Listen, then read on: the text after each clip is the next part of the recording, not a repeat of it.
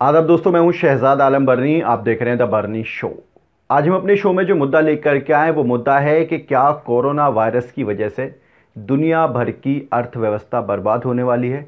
क्या लोगों की नौकरियों पर ग्रहण लगा देगा कोरोना वायरस?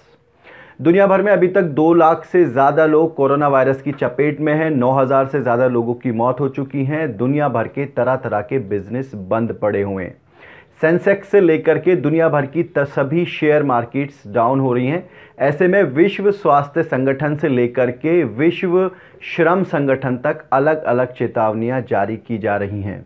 अंतर्राष्ट्रीय श्रम संगठन, यानी कि इंटरनेशनल लेबर ऑर्गेनाइजेशन की तरफ़ से एक चेतावनी जारी की गई है, जिसमें कहा गया है कि यदि सरकारों ने सही समय पर कदम ना उठाए तेज़ी से तो बड़ी बेरोज़गारी आ सकती है दुनिया भर में। अंतर्राष्ट्रीय श्रम संगठन ने क्या कहा है कोरोना वायरस को लेकर के? ये आपको पूरा दिखाते हैं कि क्या उन्होंने बोला है। श्रम संगठन का कहना है कि कोरोना वायरस कोविड 19 की महामारी से एक वैश्विक आर्थिक संकट शुरू हो सकता है। और यदि इसके असर से कामगारों को बचाने के लिए सरकार ने तेज़ी से कदम नहीं उठाए तो दुनिया भर में करीब 25 मिलियन यानी कि 2.5 करोड़ लोगों की नौकरियाँ जा सकती हैं। ये अपने आप में एक और बड़ी आपदा होगी। एक तरफ़ स्वास्थ्य की आपदा और दूसरी तरफ़ आर्थिक संकट का भी डर है।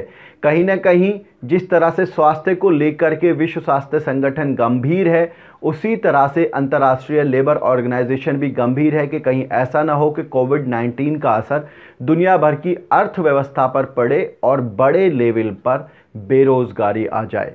आप अंतर्राष्ट्रीय श्रम संगठन के इस चेतावनी को किस तरह से देखते हैं कि क्या वाकई में अंतर्राष्ट्रीय श्रम संगठन की जो चेतावनी है, जिसमें 25 मिलियन लोगों की नौकरी जाने की चेतावनी दी गई है, क्या वो वाकई में सही साबित हो सकती है?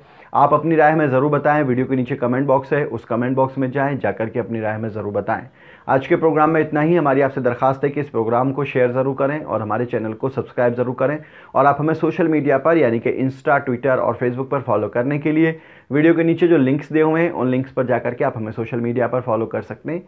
बहुत बहुत शुक्रिया।